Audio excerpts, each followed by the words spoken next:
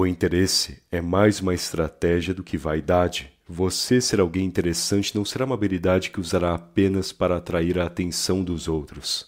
Será uma maneira também de concretizar o seu valor e ser notado pelas pessoas, consequentemente deixando seu potencial em destaque e abrindo oportunidades diante do seu progresso. Por isso, quer saber agora quais são os seis hábitos para ser alguém interessante? Então vamos ao que interessa. Compreenda a percepção das pessoas.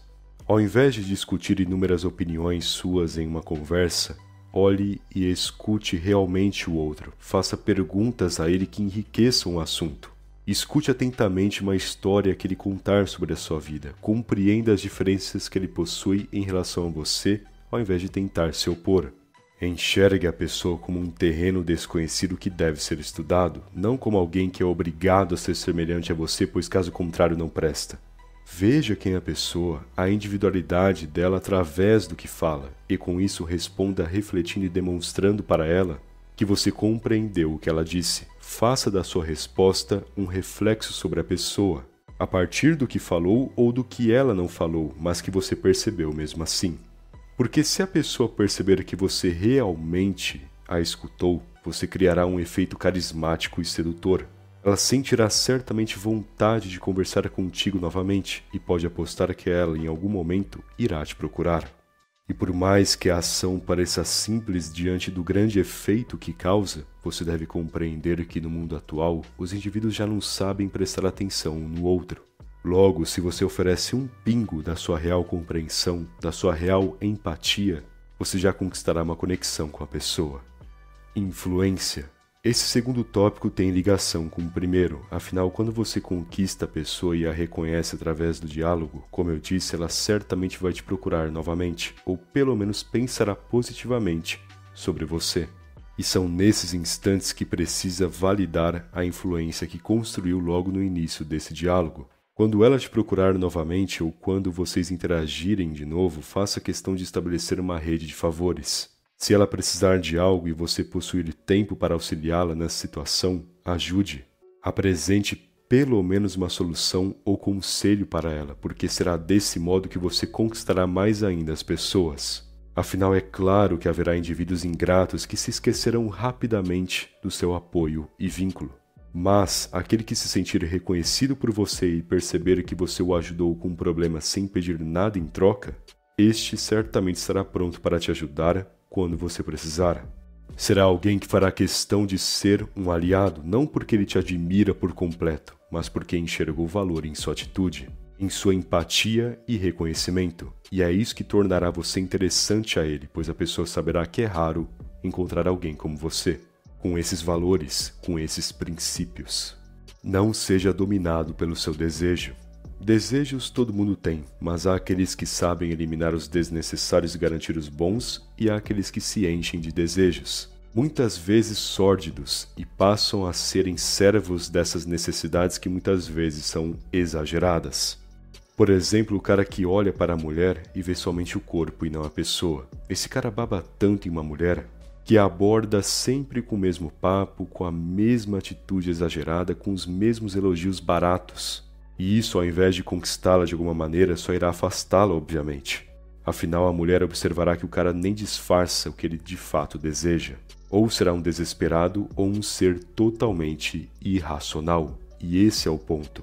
Eu dei um exemplo dentre vários, mas acho que já deu para entender. As pessoas não sabem mais se portar decentemente, porque elas sentem tanto a influência dos seus desejos que agem de qualquer maneira sem se importarem muito para que possam logo satisfazerem, mas isso normalmente só as coloca em situações deprimentes, em fracassos e momentos vergonhosos. Porque ao invés do indivíduo agir como um ser humano decente, ele age como um cachorro desesperado para cruzar. Ele age como um animal que só possui instintos, e obviamente quem vive assim, servo dos próprios desejos e prazeres, será alguém que só afastará o que há de decente no mundo e se afogará no que há de mais podre criar segurança ao seu redor. Você deve ser firme em suas ações, decisivo, ou seja, refletir sobre as consequências e cenários que uma ação criará e depois tomar essa ação, já entendendo os possíveis resultados, para que ao invés de recuar com o imprevisto, simplesmente avance já possuindo a resposta para esse acaso. Basicamente, tornar aquilo que antes era inesperado em algo já esperado. Com experiência, análise e estudo, você certamente chega nesse nível, já que os imprevistos normalmente só ocorrem porque a pessoa é ignorante o suficiente para não enxergar o óbvio. Mas por que ser firme e manter a segurança e controle diante dos possíveis cenários gera interesse nos outros em relação a você? Bom, porque no mundo atual muitos são exagerados e inseguros, são 8 ou 80 e por isso caem feio quando a situação pede equilíbrio. Não sabem como se portar em horas mais complexas porque só enxergam o superficial, não analisam os possíveis cenários. Porque ou tomam decisões extremamente rápidas ou só enxergam dois lados ao invés do todo, ou as duas coisas ao mesmo tempo.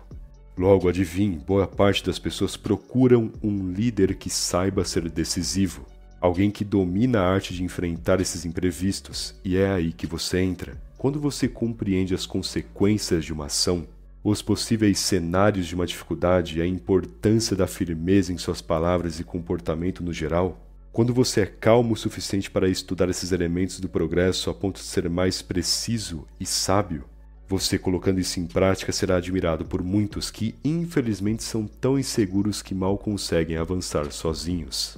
E será nesse instante que, sem querer se aproveitar e usar os outros, realmente liderando a partir das virtudes, você passará a ser admirado e considerado um exemplo por muitos. Possuir referências. Nada é mais interessante em uma conversa do que saber encaixar referências em um assunto. Falar sobre algo e no meio desse diálogo introduzir a história de um filme para complementar o seu ponto de vista, ou citar um trecho bíblico para enriquecer o seu argumento, ou até mesmo citar frases de pessoas influentes e famosas para enriquecer o assunto por si só.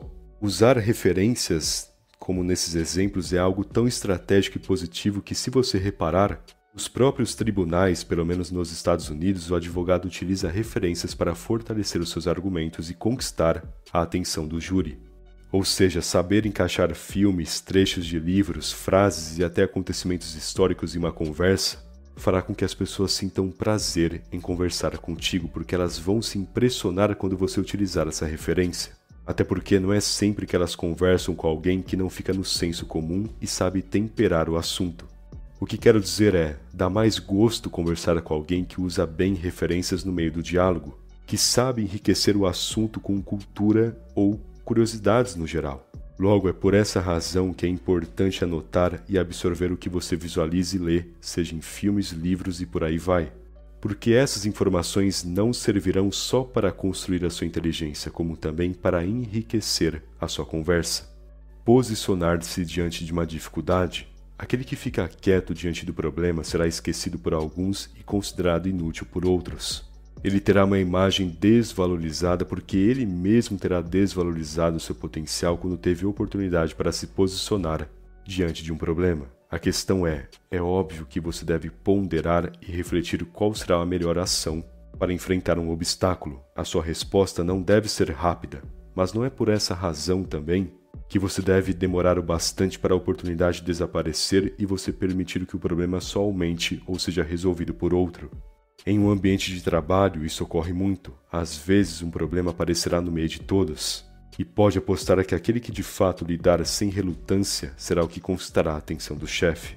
Ou seja, você não precisa necessariamente ser o primeiro a tomar atitude, você só precisa ser aquele que tomará a atitude mais precisa a ponto de realmente resolver o necessário, sendo assim não fuja das dificuldades. Não fique parado e nem quieto diante de uma batalha que vale a pena lutar. Porque, mesmo que você não seja aquele que tomar a atitude certa, você ainda assim demonstrará que não teve medo de tentar e garantir uma experiência no meio de um cenário tão complicado. Bom, espero que essa mensagem tenha te ajudado e se gostou do vídeo, deixe aquele like, por favor. Aliás, se ainda não for inscrito no canal, o que está esperando se inscreve aí. Afinal, ajuda muito, não custa nada também, beleza? Muito obrigado pela atenção e até mais.